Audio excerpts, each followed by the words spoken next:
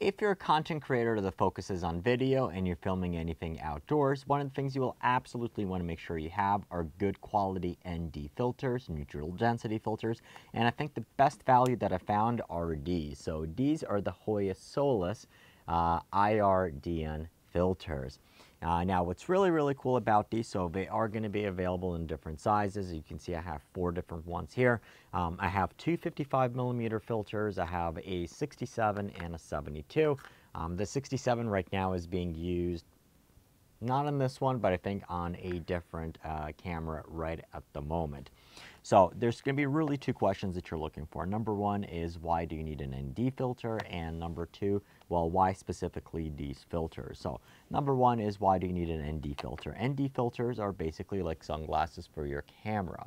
Um, if you want to maintain uh, your desired shutter speed or uh, your, well, your desired frame rate, you want to maintain your desired uh, shutter angle or um, shutter speed, um, and you want to maintain the ISO quality at a certain point, especially let's say on a dual ISO native cameras, then you will want to make sure that you do have ND filters. Uh, and that's basically going to be a fourth way of controlling the exposure triangle by cutting out a lot of the light.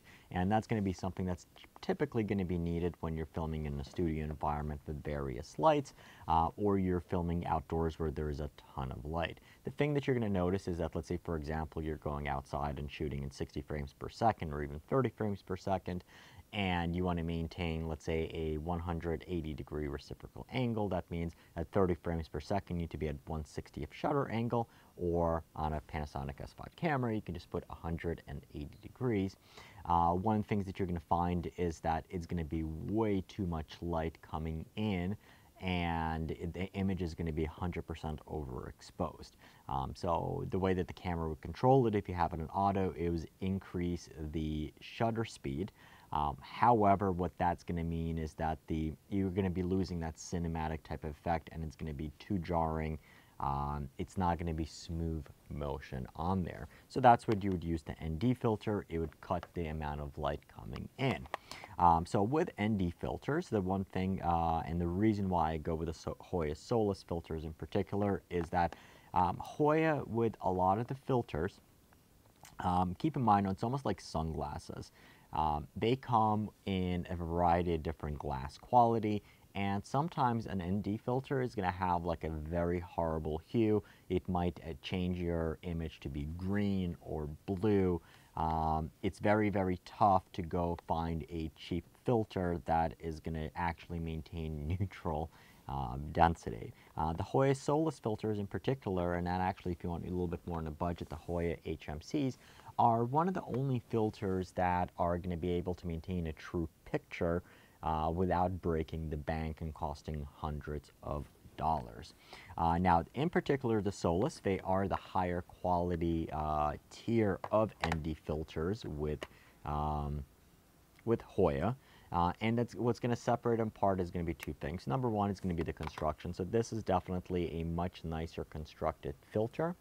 Uh, you do have, it almost like it doesn't, it's not necessarily brass, but it is a higher quality steel that you're going to be able to, or aluminum that you're going to be able to screw on. You do have more to grip on onto. Uh, number two is that you do have a very neutral um, tint. Um, it is, not, I generally, when I use these, I do not have to color correct for an ND filter when I'm creating the image. Um, the other thing, particularly with the Hoya Solas filter, is that it does have um, protections for infrared filter, so IRDN, infrared neutral density, reduces the amount of light entering uh, exposure time. Um, so a premium line of optical glass filters with added benefit of IR reduction.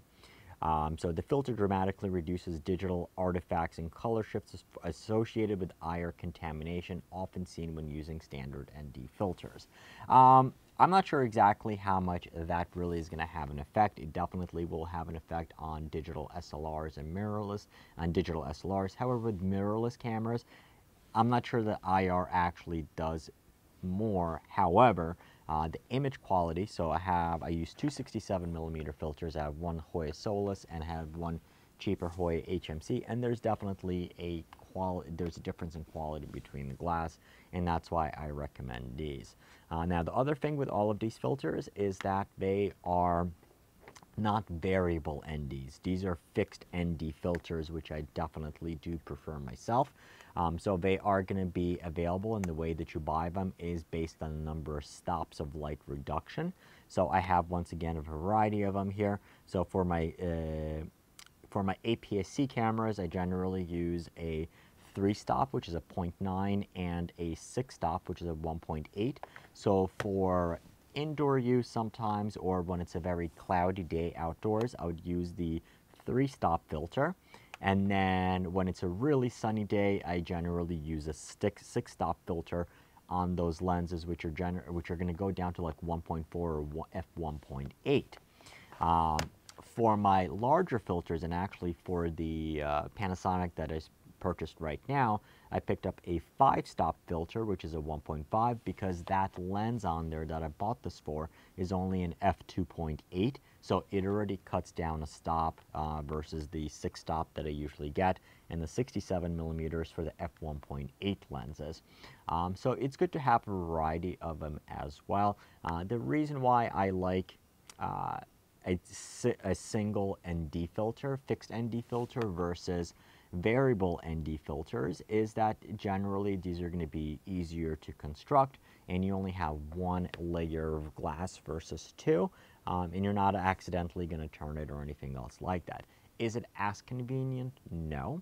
Um, however, the good news is when you're filming outdoors, the conditions generally don't change that quick. And by having everything, you can always bump up the ISO uh, or bump it down if you need to. Um, so if you're looking for a very high quality um, ND filter that's going to remain neutral without having to have uh, strong color correction on there, I definitely recommend the Hoya Solas IRDN filters.